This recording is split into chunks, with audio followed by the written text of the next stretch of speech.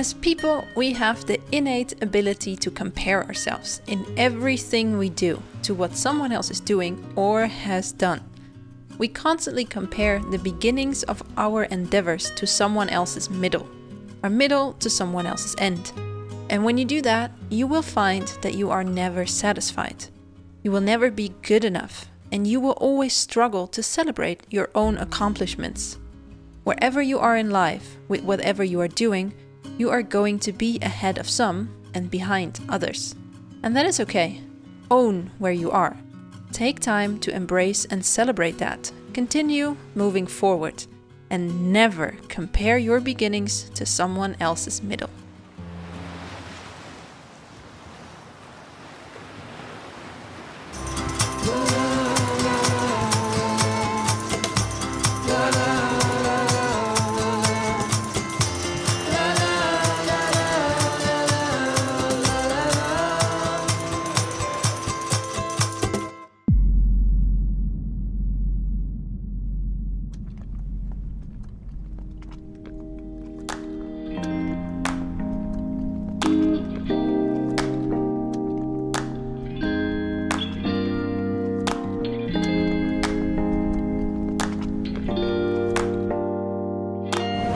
So after a pretty uneventful day at sea from Vulcano to Cefalù, we are now arriving in the bay of Cefalù.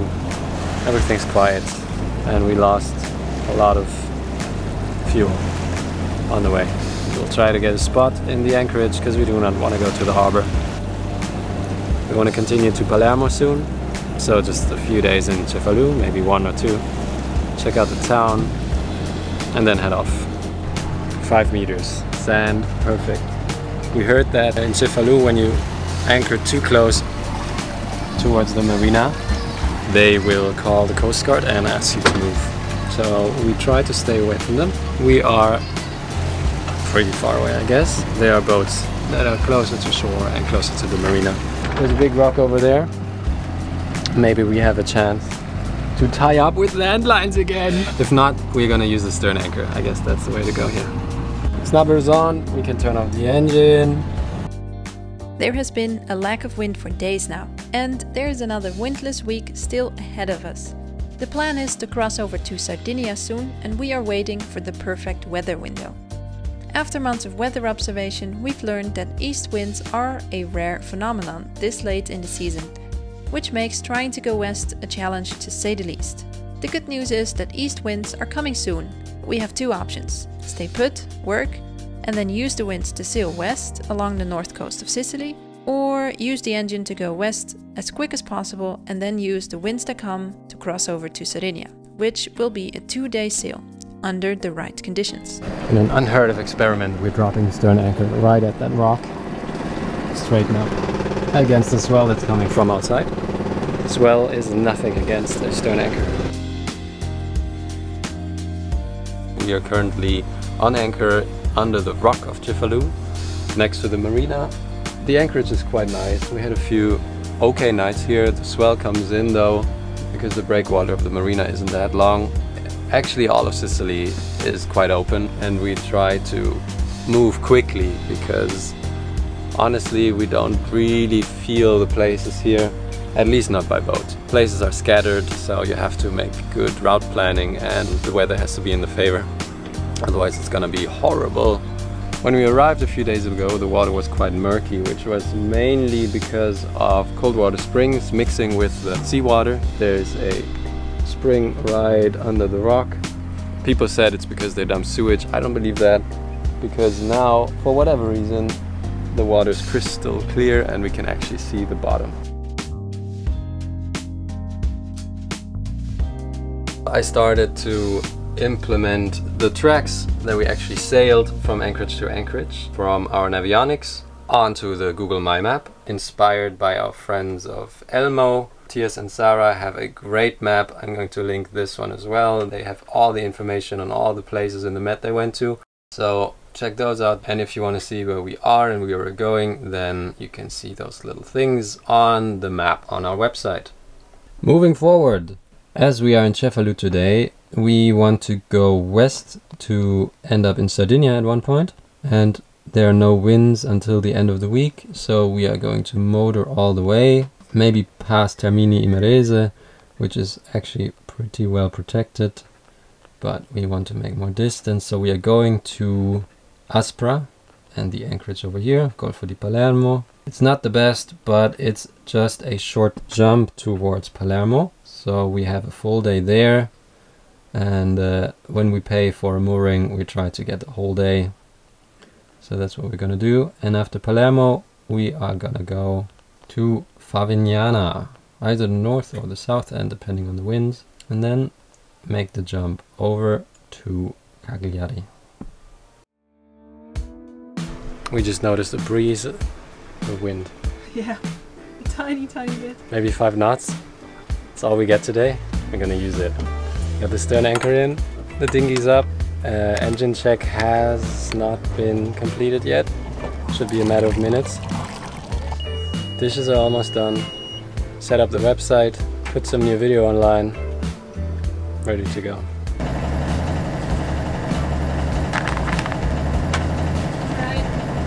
We noticed that when we are on 1.5 and we lift the anchor from uh, deep water anchorage, the revs go down to 1.4, which means that the alternator actually takes all the power from the engine to power up the windlass, which is 1500 watts. Always remember, rev up your engine in neutral if you want to lift your anchor.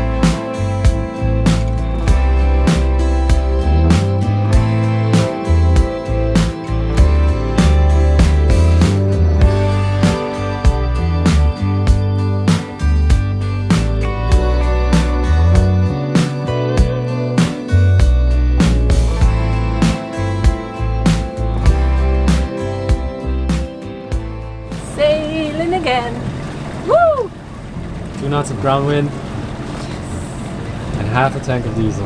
Oh yeah. Let's do this. Prediction said no wind for the whole day, so we prepared for a computer day, doing some research, and uh, Mandy's actually sitting outside. Also the 5.3 computer. knots. But apparently, 5.3 knots. Karma rewards nice people. We're sailing. 5.3 knots with 6 knots of wind. Happy days, happy days.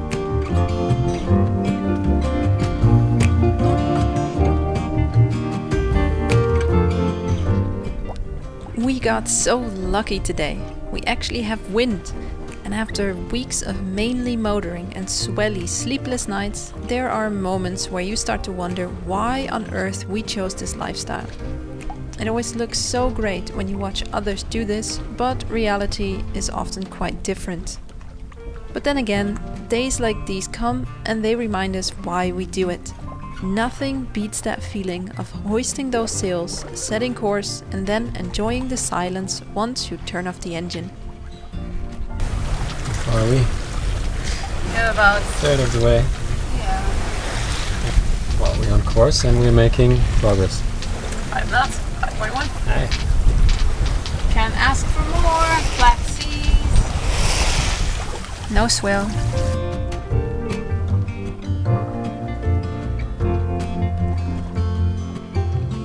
And when seas are this quiet, we can actually work while being underway.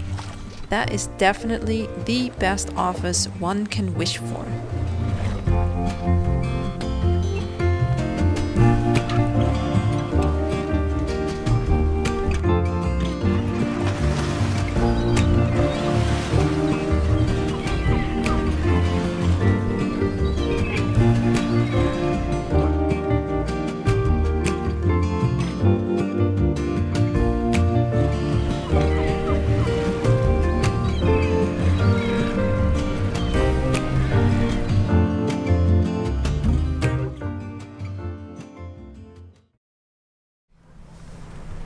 Good morning. Today we are anchored right outside of Palermo, which is somewhere behind me. It's just a few miles. This is actually not the best spot to anchor. There was only rocks at the bottom, so our anchor is just in between rocks. But it's really quiet, there's no wind, there's no swell, there's nothing. So I had the best night's sleep in a long time because it's been swelly all the time here because everything's always really open. Anyhow, we're gonna go to Palermo soon. It is 8 right now, and at 10 we can go into the marina and spend the whole day in Palermo. And then at one night, and then we leave tomorrow again, and then go further towards Sardinia. And it is a beautiful morning. Look at this fantastic surroundings. It's just, I the colors of the sky are good. There's a very cute town behind us. It's a pretty good spot to be honest. It's too bad that the bottom is so bad and you can't really get your anchor to set, but still worked out for tonight. Let's see how Alex slept. How did you sleep, baby? Not so well. Why not? Because our anchor is not in, it's just lying on the floor. This is, people shouldn't say that they anchor here. That's maybe true. Plate of rock and you just drop it there and then it lies there. Mhm. And then when you're lucky or unlucky, you find a little hole and the anchor just starts going into it, and that's when you're stuck.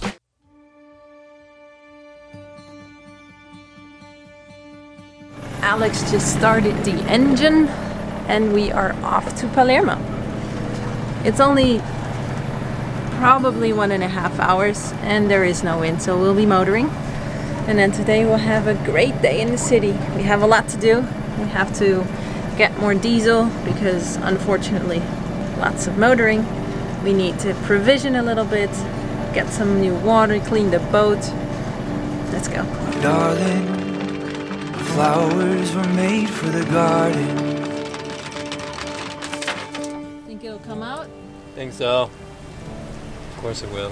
That's the red. You can see the bottom though. Oh, you can't see it on the camera. Nothing more than just a handful of soil. Let's hit it, baby. Both run dry, and with tears in our eyes, decided it's best to lay this thing to rest. Darling, flowers were made for the garden. I'm not quite everything you need. I beg your pardon. Little bit of wind. It's not much, but it makes us with the engine really quick. Oh, we just heard a massive bang, and it felt horrible in the cockpit. To check the, the shaft, see if everything's alright there. Yeah. How's the uh, the belt? the belt. Yeah. Oh, sorry. I don't know. See? The belt is fine. There.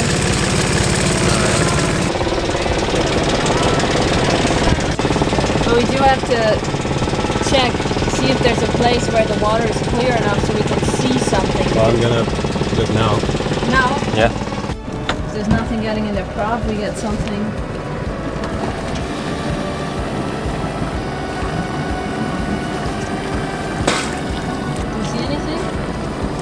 Perfect.